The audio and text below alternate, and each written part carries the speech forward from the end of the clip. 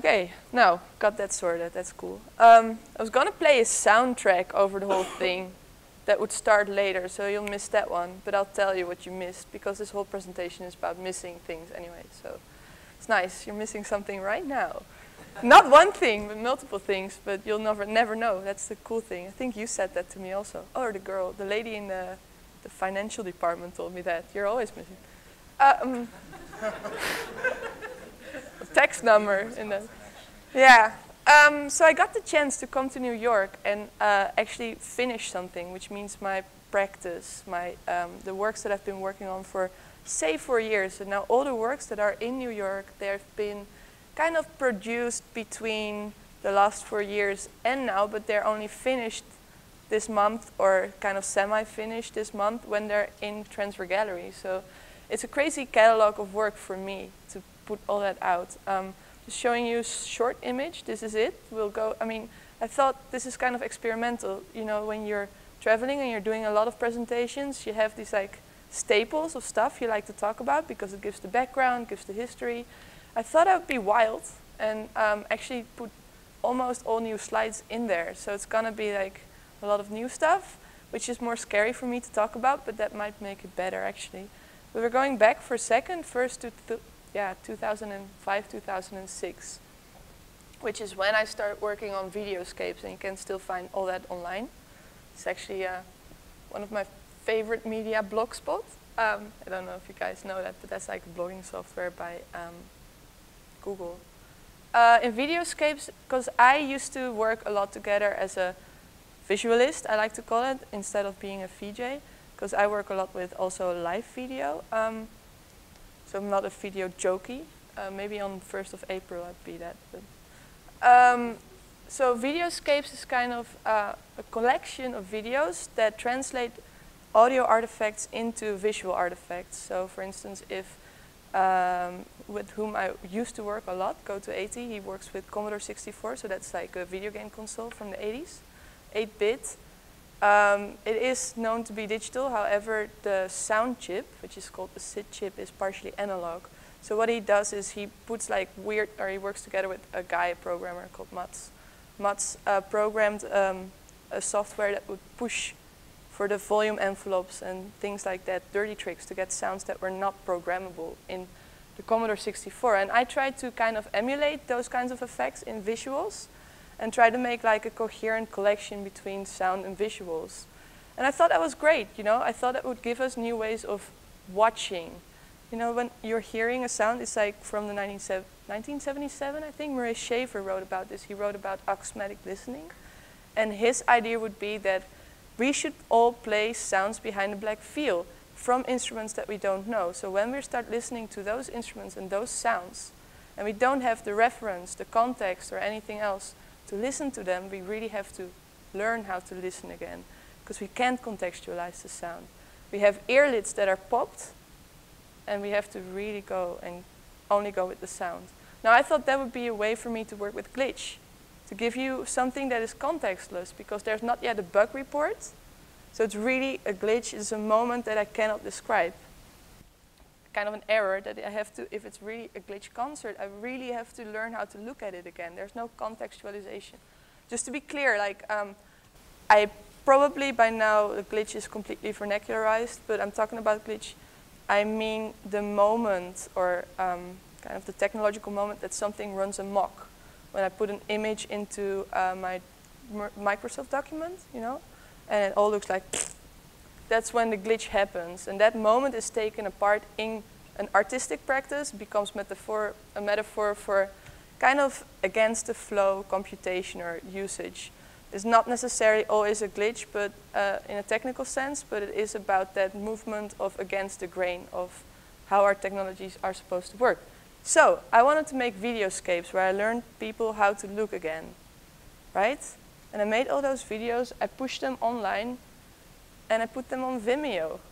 And that's where it all went wrong, I would say, like for the first four years at least. I still do it, I still use Vimeo all the time, but uh, that was my main way of publishing my work, was pushing my videos on Vimeo and then that got onto Facebook. And what happens is that every time somebody looks at my videos, via this interface, they know immediately, especially when they're going via Vimeo noise artifact group or whatever video art group, they know it's going to be video art. It's not going to be anything outside of my way of, you know, my conventions, my contexts. They'll be like, oh, it's video art, click, click, next, click, click, next. You know, that's, I mean, that's how I browse most video art, to be honest. Like, I want to get a sense of it. I don't need to see it from A. That's how I browse mostly everything. So I wanted to take, yeah, sound and visuals out of context by putting them into Vimeo. Excellent.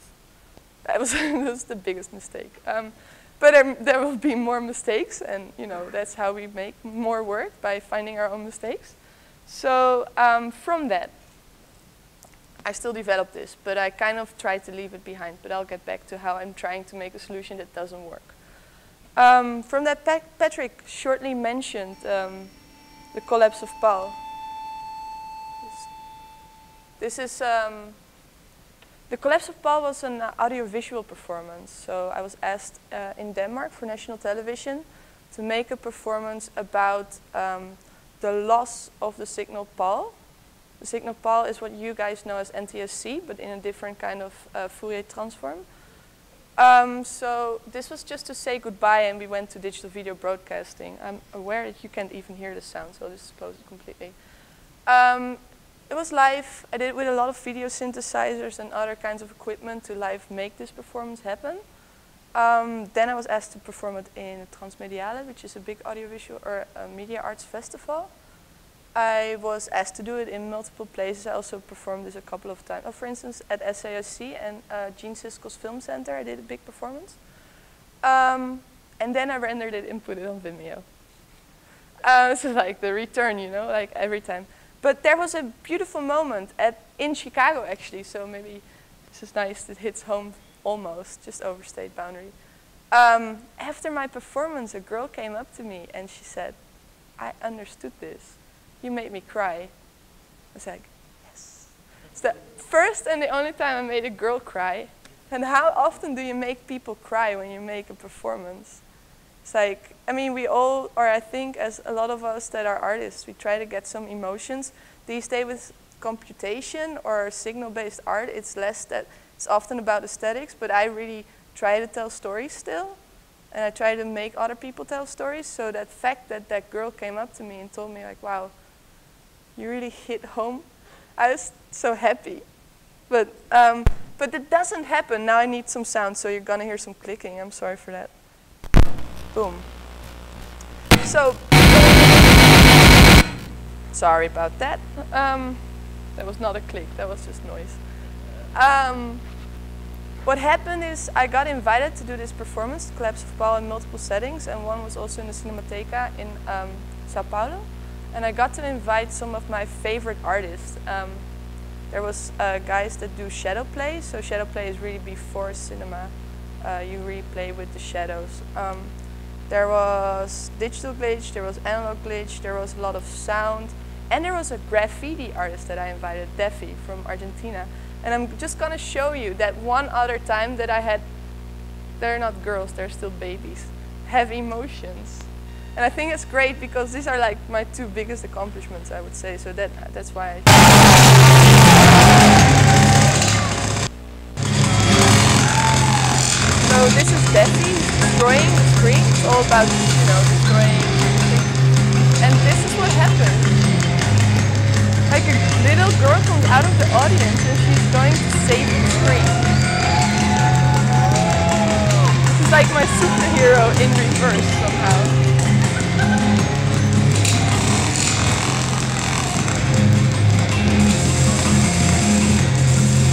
And then the, next child comes up and it's like, wow, whoa, whoa, I think, yeah. Just turning down the sound again. Um, yeah, so what I'm trying to say is like, I've really tried my best always to tell stories, to build it up, to get a climax, and to get some kind of effect. However, it's often not about the effect in the end people just look for the effect. So they look for the aesthetical effect. They're like pleased with that, but it's like there's a, a hard breakage between those things, and it just doesn't always work.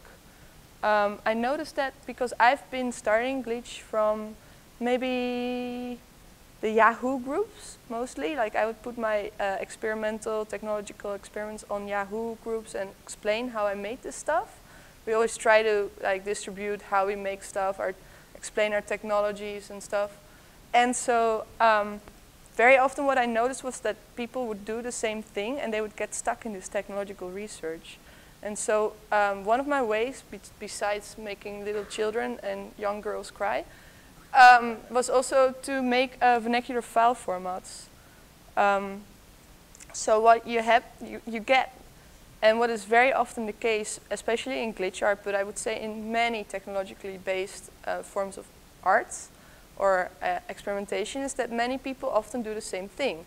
And for some people, if you use a technology and you're one of the first ones, you should own that technology. Nobody else, it's all about the aesthetics that are based in this technology.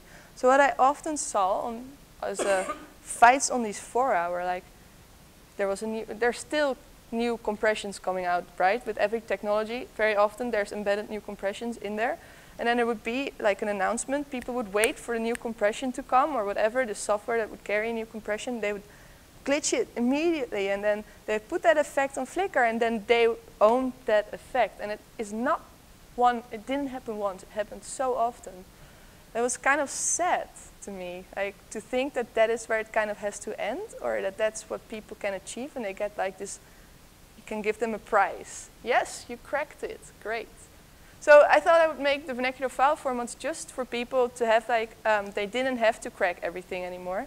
The ones that were already cracked, um, I ex explain how they were kind of happening. Like some compressions are actually proprietary, so you cannot get all the algorithms on um, the internet, but some of them you can reverse engineer by um, breaking them most often. You'll see like repeats of particular parts of those compressions, and you'll start to understand a little bit how they work. So I, in the vernacular file formats, this is like just a condensed kind of version of it, just the most used images that I used. Um, I showed the different effects of nine of them, or actually I would say it was around 12 or 16 of the most used compressions.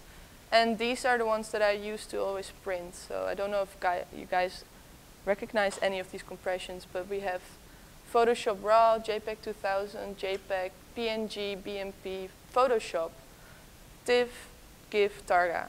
And so um, those are just for static images because sound and video and any kind of 3D modeling also has you know, compressions or ways of file formatting and organizing data. Um, there's a couple of different lines that I want to talk about. One is also about how to present your artwork, but I don't. I think that's like kind of gonna go to the back. So I'm gonna skip this slide real quick. But this is an installation of that where I put it against time. It's very dark, I'm sorry for the projection. Um, so it became kind of an infographic, so there was not that much emotion. However, against the usage of this particular image, which is me, but it's like maybe six years ago, so that's what I used to look like six years ago, and now I look this. Uh, you won't recognize it. Anyway, um, so there is actually a whole backstory to why I use this image, but um, that doesn't matter today. Um, from that, me and Johan Larsby from Sweden built Monglot, which is a tool for people to really learn about the technology and to keep glitching it up automatically, but just looking into the different languages. Uh, since many upgrades, it sometimes doesn't work and sometimes it works, but you can still download it depending on your uh, OS. Um, Another tool that came from this was Extrafile, which is made by Kim Asendorf from Germany. And he said, okay, it's great that you break all the existing file formats, but let's make file formats that don't exist yet. So let's create extra files. And because you know, a file format is all about just organizing your data in a legible way for your machine, you can actually make any kind of compression, but you can also actually make anything readable in another way. So Extrafile was really about how to organize data in your own way. And imagine as an artist, if you're making a digital-based work, but also if, as a painter. Think about Yves Klein making, um, what was that, Yves Klein Blue? Um, paintings. He really cares about this color, and it's all about this color. However, if you put an image of this work inside a catalog and you compress it as, an, as a JPEG, you're actually also cutting away pieces of that artwork because you're cutting away highs and lows of both the amounts of color and um, the, the, the form of color because it just compresses it into standardization of colors. So imagine as a digital artist making your work inside a digital compression and then having very often to send off your work to any kind of catalog for, uh, I don't know, for film journal or for uh, the mom in your case, probably, you know, when that happens. They ask you to cut away parts of your art.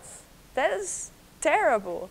I think it's like one of the worst things you can imagine to have, yeah, that happen, that can happen to your digital art. So I think just as like explorer of artistic stuff, materials that everybody wants, any kind of artist has to do. You know, as a painter, you're exploring your, your ways of making paint. As, um, I don't know, as a film videographer, you have to explore the different kinds of compressions and sounds and what suits your kind of work best. Um, I think it's important to get your fingers for once inside your file compressions and open up your gradients, for instance, and listen to them. This gradient is like the, you know, the change between uh, red towards blue or purple. is this very uh, hipster kind of thing to do on your websites or on the cover of your laptop or whatever. Uh, so a gradient, actually, when you compress it as a raster file, it saves every pixel by pixel. So imagine sonifying that, listening to that. It sounds almost like, you know, a rainbow. So you can actually all this data is very fluid and I just always ask people to really get in touch with their data because these days, even if you're a painter, you still have most of everything still like showing your art on Facebook or whatever still goes via data and so it impacts your work. So you have to know about that material too. Actually, I'm giving a workshop on that, yes, tomorrow, but you know, was just, this was just like, this was all just a commercial for tomorrow. Um, Besides that, these kinds of compressions and um, you know uh, standardizations, they become so standard and so ubiquitous that we start to look at them from everything that we use and everything that we make, we start to look at it from this perspective and we start to forget that there's actually other possibilities, such as extra file, as I showed you before, which is uh, if you're kind of knowledgeable about compressions, you'll know that these kinds of blocks, normal files, they don't use those kinds of blocks. That's not a way to organize your data. Um, you guys that study probably a lot of photography and stuff will know that there's no such thing when you make an image in your browser or in your computer, in your interface, that looks like this even though everything is computational and everything can be computed, can be calculated, we cannot make files that have, you know, you can make it like as a mask, for instance, in a PNG file, but you cannot put a file in your browser and give it five or six or eight corners and layer it and move it around and start playing with the depth of your screen. It's computational not possible, but it is if you would organize your algorithms, if you build your own algorithms but it's not via the rules of the system. And so we've been taught that video is still four-cornered. However, why can we not like look at video not just from sound, image, and time, but also on different levels and put those levels on top of each other? And I think these days there's so many rules in our computers that we've just completely lost the ability to think about those kinds of questions. You know, what kind of resolutions are there, what solutions do they make, but also what compromises are being made at the same time. And what do those compromises make for lost possibilities? So really the lost possibilities, those, those things that the, the financial department woman was talking about, the things that I'm missing all the time, that's, that's what this talk and exhibition is about. Um, just one more experiment. This is of um, last year. Uh, it's called Vertical Cinema. I'm just showing a little piece here. Oh, it needs sound. Then.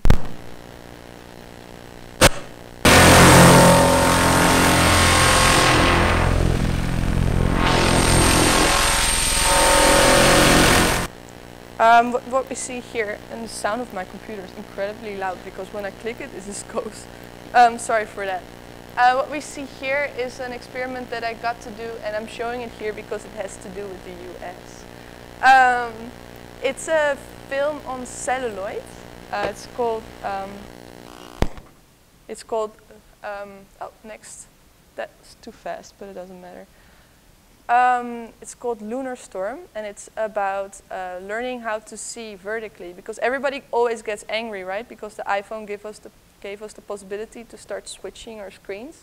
But then YouTube doesn't implement that at all, so we get these like big letterbox videos. It's another way of those resolutions not working out correctly.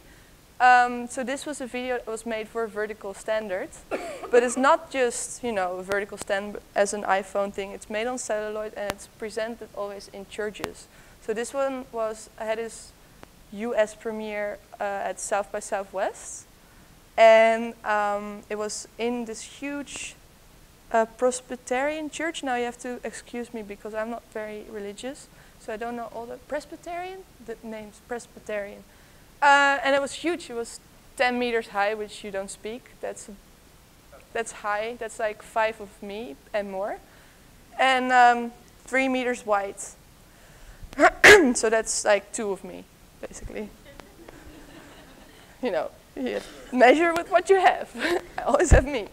Um, so what's the point about that? Oh, the funny point about that was that you're at South by Southwest and you're showing like experimental cinema stuff.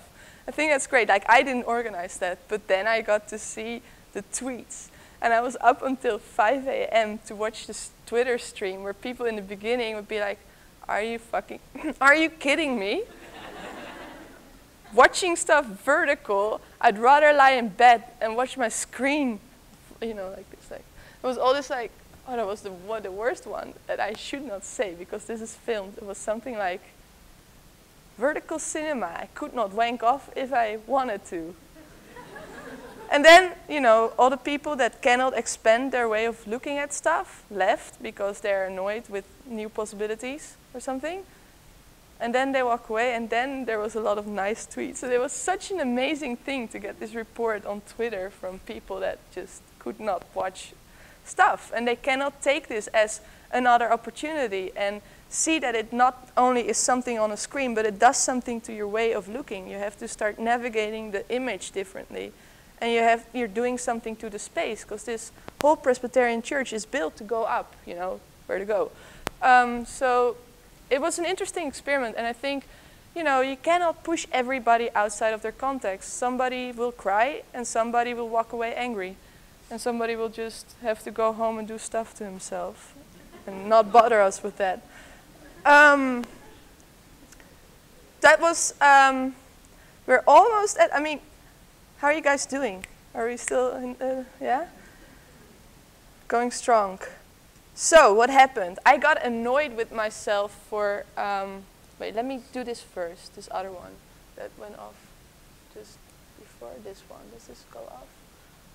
Yeah, great.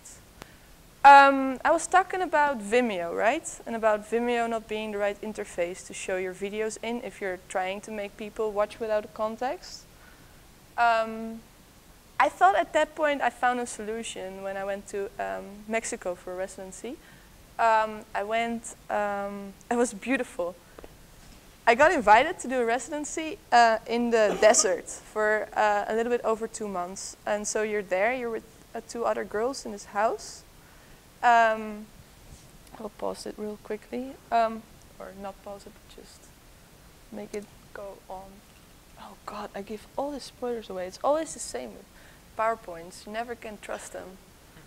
Um, so I was working in the desert with two girls, two girls, three girls. I'm very fiery. People can't always deal with me. I was told that one of the girls can deal with me because I am Aries and she was water and they don't should not talk. So there was, there was a resolution lost there, quite right there. We didn't commute. Um, but so I thought, well, wait, I'm not, oh yeah, and there was this day, this is a terrible story. It's not really a story for happy artist talks. We were stuck in the arts space because 14 people were found dead inside a truck. right in front of the door. And at that point, I was like, well, there's so much going on in this space. Maybe I should just go away. You know, like maybe I should just take a bus and go and then Google where should I go, places to go in Mexico. I found um, this garden by Sir Edward James, who is um, a surrealist patronage man. He was aristocrat in the early 1900s and he really liked Salvador Dali and René Magritte, and he would give them a lot of money to make art for him. So he was the guy that you know financed all this perfect inspirational work. Uh, but he was jealous because of all these artists making his dreams. But him being aristocrat, he could not be an artist because he would fall out of grace.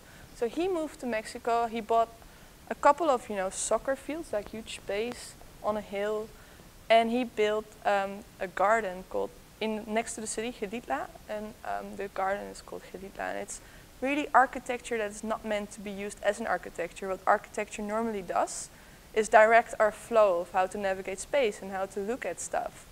This kind of architecture did not make us move through space following a path. There's a thousand paths, there are staircases that go to nowhere, there is five um, heaters on top of each other. There's hands standing there, and you're like, oh, it's a hand.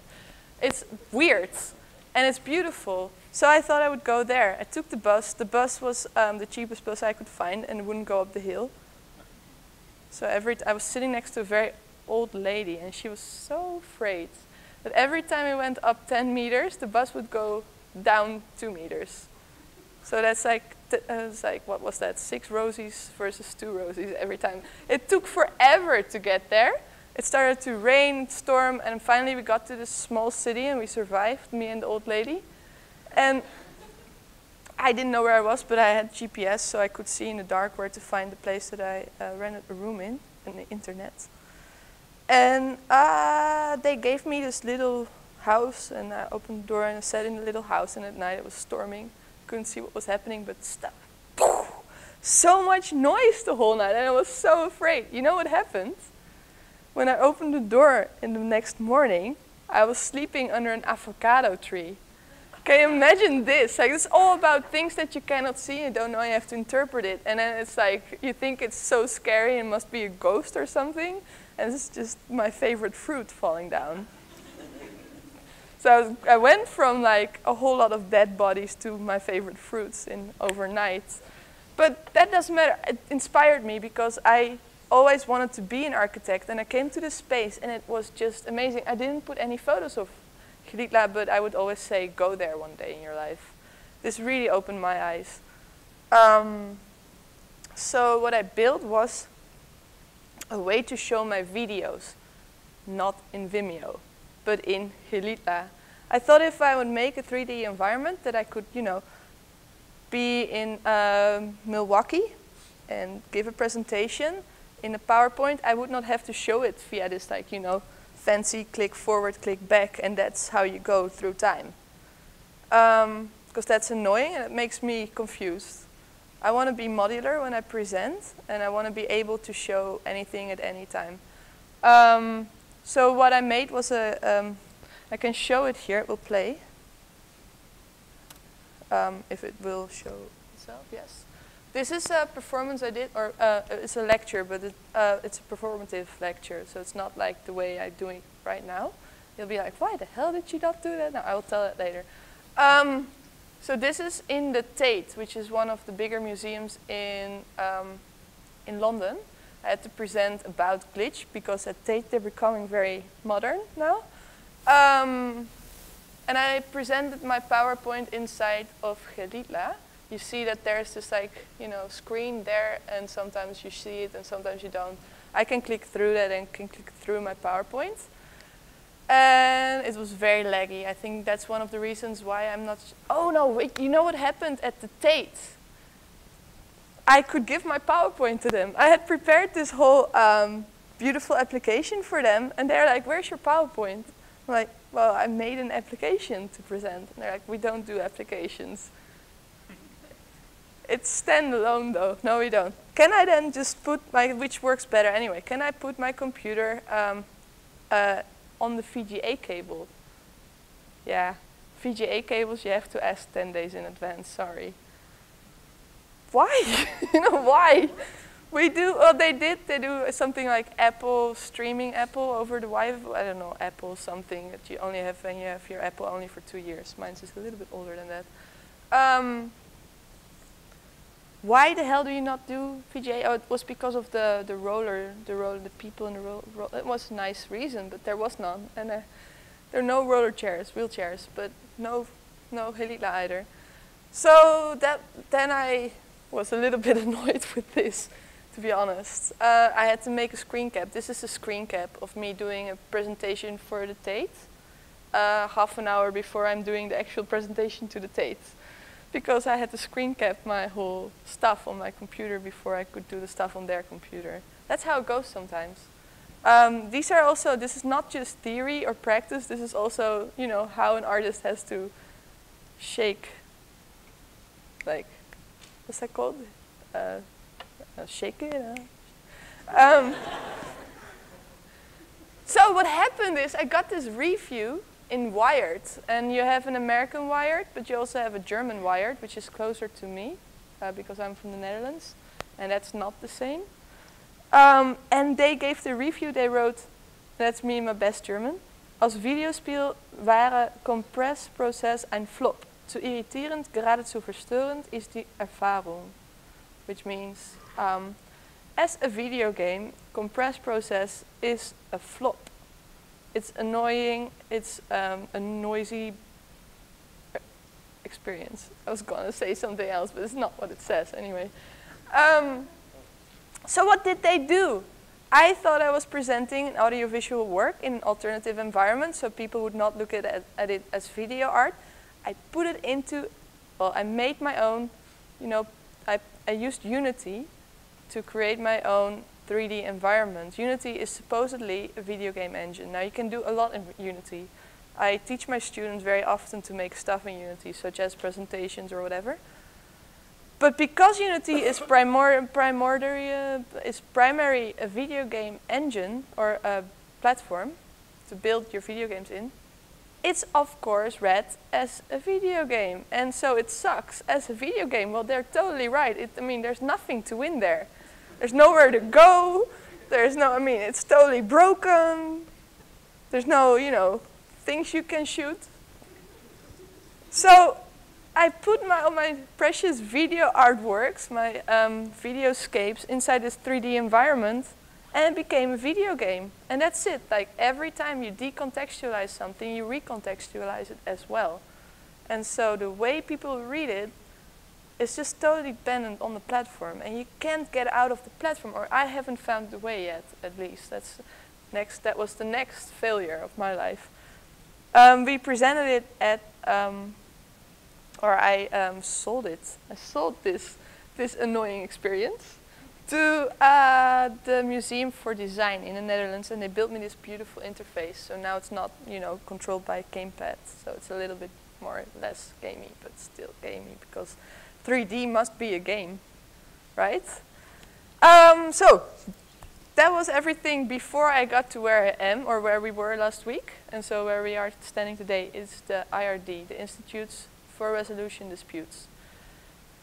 Um, this is the logo. It's also the key to explaining what the hell I did in that exhibition. And I'm going to try, I mean, I have no sense of time because everything is modular and tangents in my life. So if you're tired, walk out. You know, like get some snack and a beer and um, you can tweet at me later. Um, so the key to the IRD. Let me tell you, a lot of art these days when you're working on the internet is based on encryption, decryption, encoding. This is very hip. Everybody wants to save uh, the people in the war zones. Everybody wants to, you know, it's like, that's what it, where it's at if you're gonna make encryption-based art, you're gonna win three stars at least. So you only have two to two to go. You know, like that's it. Um, you're gonna pass. This is a Nathan. You can pass Nathan also like that. I'm sure, or Patrick. Not anymore. I destroyed it for you. Um, so I thought I was, you know, we have these musicians. Well, you used to have Aphex Twin, right? His work was sonifying photos. So he would take his photo of his face It's beautiful face. And he would make sound of that. And that was like very advanced in the 90s. And it's very clicky, clacky, glitchy, glotchy, noisy. And that was where it, that was what it was back tho in those days. Now, people still do that, but of course, because any kind of data can become any other kind of data, because you can tunnel it through all kinds of algorithms. It's all fluid in a computer if you use it outside of the standards that Apple 1984 puts onto you. You know, um, I don't know you guys. I mean, I I'm, I stopped. I I made five references in one sentence. I think. Do you guys know what I'm talking about when I'm saying 1984, or do you know two references, or just one, or zero, or maybe your birthday? Then you're really cool. I wish I was you. Um, because I'm from 1983, so I was just before the switch, but I would like to be in the switch. Um, 1984 is a book by George Orwell, and it's about um, a very fascist state, basically. It's the future. Um, it's where people, well, let me just not tell you the whole book, that doesn't matter. What matters to me there is that uh, what's being described is a place where people only speak Newspeak. Newspeak is a language that gets smaller and smaller and smaller. More and more words are being deleted from the lexicon. So we can all understand each other because we know all the words. It's great. So if you don't use the words in the lexicon, you'll get, you'll get hurt. Um, so Newspeak in this way is making the world more gray, more boring, more, um, you know, standard. But it's also gonna function. I'm not against functionality in any kind of way. However, I think it's funny when think, people think that function depends on a framework that is completely set. But, you know, that's what George or Orwell writes about. And that's what Apple computers, in 1984, the first Apple computer, made their uh, first commercial about uh, by Ridley Scott was it, it, was directed and it won a lot of prizes. If you haven't seen it, it's not in this PowerPoint, so you, can watch it on your iPhone. It's wonderful. It's just like, woman, I can play it out for you. She, there's this whole metropolis kind of style building. Everybody's working, sitting in gray, bald hairs, no germs, because everybody with hair is germs. Um, then there's this woman in a red, small pants. She's gonna run and she's gonna destroy the um, screen and she gives colors and there's like, whoa, colors. And then a voiceover says, uh, was it like, what was it, in January? Now I have to roll it over in my head. I don't remember, like January 28th or something. Apple Macintosh will bring you the first computer and you'll see why 1984 won't be like 1984. And it's wonderful because what do you think this crappy thing does? I think it gives us only Newspeak, but that's me, maybe. But, you know, like, that's funny to me. So, IRD is against 1984, is not against, it doesn't really matter what we're about. We're understanding that there's multiple 1984s, and it's all about flip sides, you know, where something can be more or less, and where the compromise makes a new resolution possible, and vice versa. So, the Institutes is about that, making cryptographic art. But not, you know, how people encrypt their fancy things to um, be cool. I should retract this. Wait, I'm going to be more clear. So, um, for instance, we have a very, very, very fancy, I'm not going to put his name because then we'll get into a fight. Uh, Swedish, uh, his name used to, no, I can't do this. So there's a guy that makes um, uh, electronic music that's very hip in Berlin, and of course, when it's hip in Berlin, it's hip in the rest of Europe. So uh, what he does is he encrypts a lot of work. What he did in one of his works, and that's where it starts to rumble for me. He encrypts a photo of the, um, how do you call it? Like, there was a lot of riots in Athens. So uh, a photo of the riots in Athens and that's what he makes a sound of. And just think like, okay, that's nice. I know that you can make sound of anything. You know, I can make sound of a painting, and I can make, uh, if I put the algorithm on top of it, it will become sound. Um, but what the hell does this dude from Sweden, or Denmark, or wherever he's from, Scandinavia, have to do with the riots. Like it's this fake political statement that we get, and he gets really. he's very cool. And I just think that's the case with a lot of, I mean, there's also a lot of good cryptographic art, but there's a lot of people that are just showing like, yo, I can do steganography and I can do encryption and I can make things obscure. Well, guess what? The computer has made stuff obscure for us for many, many years. There's a whole lot of data that we don't see that's being cut out, that's being encoded, and that we don't get to see for what it actually is. So I just thought, let's flip that around and let's use the computer's algorithms to make everything super, like let's show the way the computer organizes stuff instead and make language out of that that people can't read necessarily and not just use photos of uh, I mean, it's very important to put attention to riots, but I just don't think that it has anything to do, there's no coherence there. So I wanted to make work about obfuscation. And this is, um, I'm running through this way too fast, but I think it's going to be way too abstract for you guys. I made an alphabet, and here are the statements, and these are the institutions.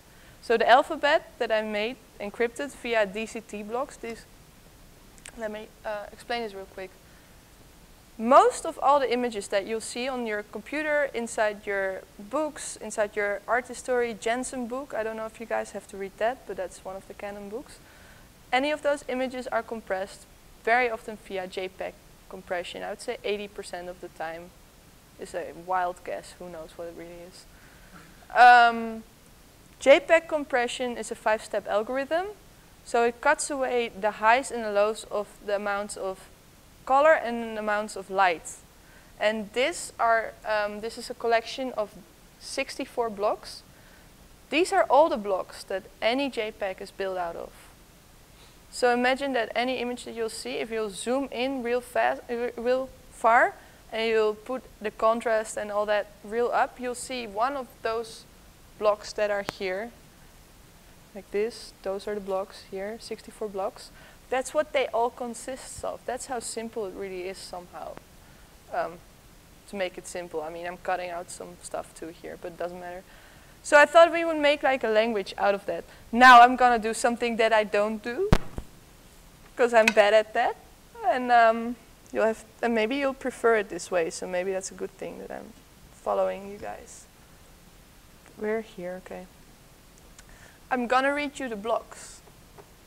I got I got a note here, so then you know I don't have to live translate it.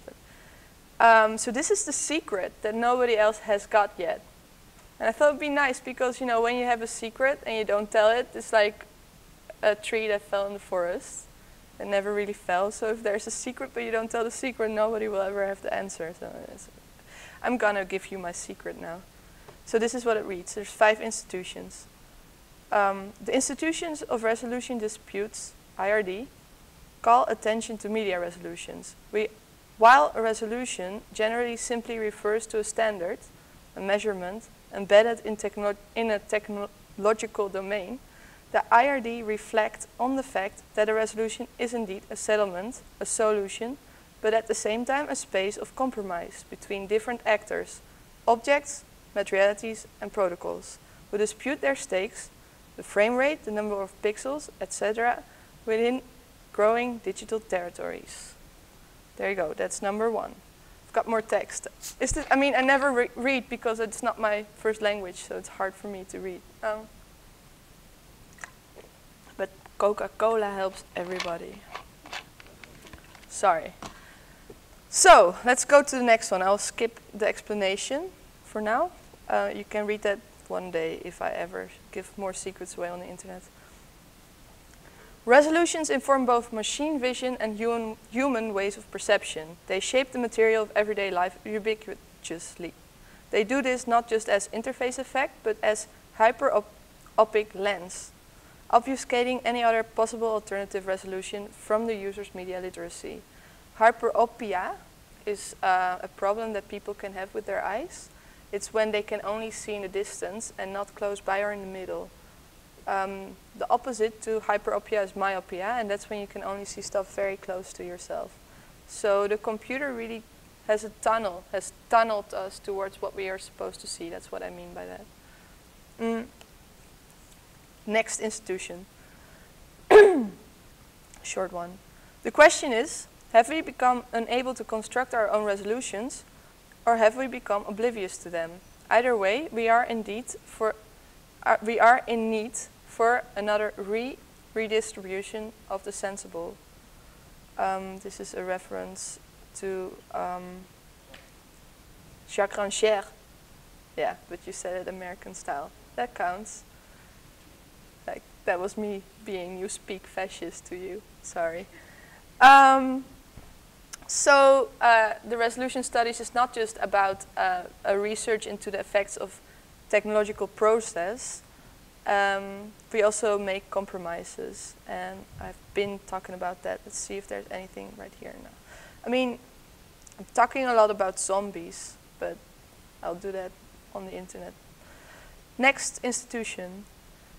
IRD intend to impose methods of creative problem creation. This is a reference to Jon Satrom from Chicago. To bring authorship back to the layer of setting a resolution. The radical digital materialist believes in informed materiality, while every string of data is ambiguously fluid and has the potential to be manipulated into anything. Every piece of information functions within adhesive encoding, contextualization, and embedding. Final slide, you guys, we're here. Very exciting. Through IRD's tactics beyond resolution, the otherwise grey mundane objects of everyday life, and this is a reference to Matthew Fuller uh, and Evil Media, um, show their colors. IRD is not a wunderkabinet of that media, uh, which is a reference to a show of Evil Media at the Transmediale two years ago, which I thought was a little bit sad. But it's a foggy bootleg trail for vernacular resistance. I'll explain to you why I thought, uh, why I think Wunder, Wunder cabinets are very sad. Uh, Wunder cabinets, when you go to London, there's a beautiful one. It's by a, a rich uh, British man who made his beautiful house in the center of London, and he had there a collection of Egyptian art and beyond.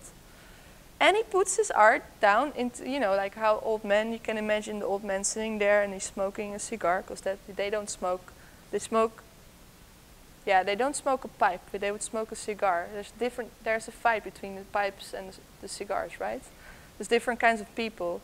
One is for bragging, and the other one is for enjoying. People say, but that doesn't matter. Um, so there's the guy. He's sitting there, and he's showing his uh, Egyptian dead art underneath glass stopes. That's what we do. That's what happens in any kind of museum about dead objects. We put them behind the glass, inside the glass stop, we don't activate it, we don't let it live, and we don't let it really show. It doesn't spark our imagination. We don't let it run wild. We can only take a photo of it. Click, put it on Flickr. Um, I think the exhibition shouldn't be like that. I don't know how to really not make it like that, but that's um, that was my fight in the IRD. How not to make dead art, but make zombie art. Because in the end, it's not living between us, but it's living in our imagination. And those are the zombies. I'm gonna show you a couple of examples. If you still, uh, I mean, you can follow the beer drinkers, that's okay. I have a couple of fa favorite artifacts. Lines, blocks, and where's my other favorite? Vectors, yes. This work is about lines. Ooh. Um, it's called the rolling shutter effect. So imagine this. You have an air, you're in an airplane towards um, Finland, and nobody wants to go to Finland, so the airplane is very small. And you get very close to this rotor, and the rotor goes very fast. And you have a camera, an iPhone, and the iPhone um, also has a very fast shutter. However, the frequency in which it shuts it takes the amounts of frames per second is not the same as the, the, the, the rotor of the blades. So the frequency with which the thing rotates does not compute to the frequency of the amounts of frames per second of your iPhone. What you get is magic in the air. That's the rolling shutter effect. Now, okay, we get that, right? That's understandable from, um, from Finland. Finland gives us that, at least. This is the Nova drone in America, the US, they do a lot with um, military stuff. So they also know how to make LEDs work really well. This is an LED that uh, pulsates really fast, so fast that the lens of your iPhone cannot compute it. So the frequency with which it's pulsating translates and you can put sound inside of it in the pulsation and it will become this. This is beautiful. It's made by the, uh, the object. It's made by uh, Peter Edwards. He's uh, used to be American, but now he became Dutch. Um, it's called Nova Drone. And I, this video, I made it, or I made it with my, tel I was explaining it to my mom, so, you know. Um, so this is a video made with that. then the next, I took that, and I made it work for the exhibition, very bor boringly installed. I'm gonna break this fancy PowerPoint now. I'm gonna show you one of the works that hasn't been shown except for if you can go to, to, to the exhibition, if I can find it even. Let me see. Oh, here it is, all the way in the back. Just real quick, I will not show you the whole video, though the whole video is not so long, but I can see Nathan almost falling asleep, so taking care of my friends. Yeah.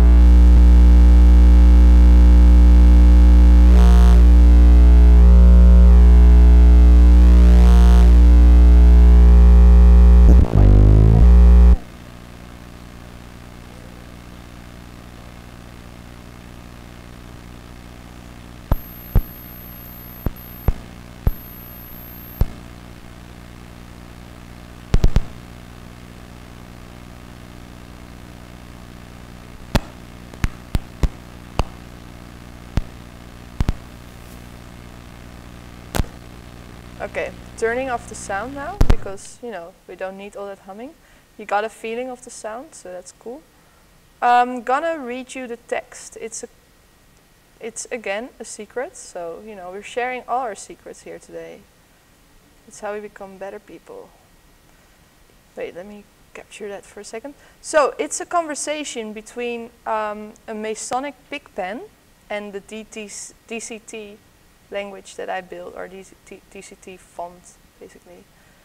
But I like to tell you this because this will make no sense. It's like poetry that's gone beyond poetry. Maybe it's just me being really angry at people.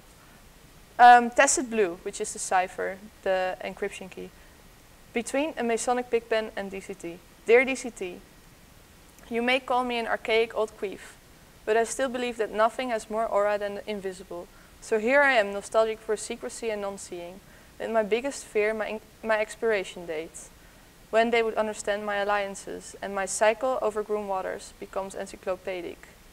This is, they've just bracketing, this is about, um, well, it's about the uh, Northrop Tacit Blue, um, uh, what was that, like drone device. But that will make no sense now. Let me loop that because that was such a nice um, uh, thing behind me. Um, okay, there we go again. You, my dear DCT, are not nice to me. Why do you mock my quest for radical freedom? Question mark. Then um, the DCT will talk to the Masonic Pigpen.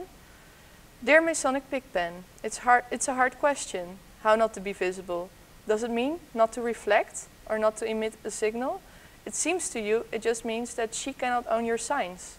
No cipher, encryption, or any form of secrecy is permanent, as the once radical enigma fell through a dumb hello. We are all bound to become informed materials, products of semiotic deterritorialization, progressively enriched by information. I celebrate obfuscation inside a liminal space of the run length encoding RLE and the error. The conditions becoming readable to the OCR are flippant an OCR is a scannable text. Do you, do not need to become decommissioned, a decommissioned Ouroboros, which is the snake, you know, that eats itself, so it becomes smaller and smaller until it's nothing, or maybe it's something. Um, because every time a new way of seeing is constructed, a previous story is generated, and then we are in free space again. Okay, that was one work. You guys are almost gone, but I'll show you one of the last works. This was myopia. I've already told you what hyperopia is. Hyperopia is that you can only see far away. The whole space was made out of myopia. So I'd zoom into JPEG 2000 compression so much. Oh shit, we're not, we're still here. I can only see what I'm talking about. There. Myopia. This is, um, myopia was quite huge, as you can see.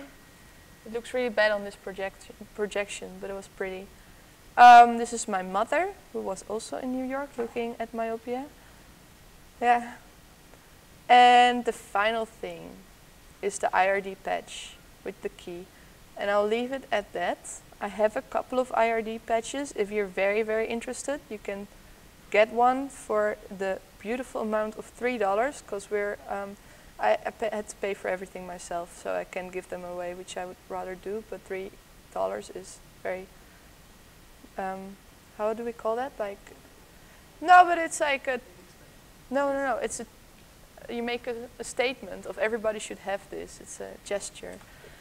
Um, and it's informed by, of course, Trevor Paglen, who visited this space before me also uh, who did the research into military patches, because you know military rules the world. So, um, I think we'll leave it at this. This was experimental. I don't know how good I am at reciting my own poetry, but it's not really meant to be recited. It's more machine language for people that cannot read it. So, thank you very much for that.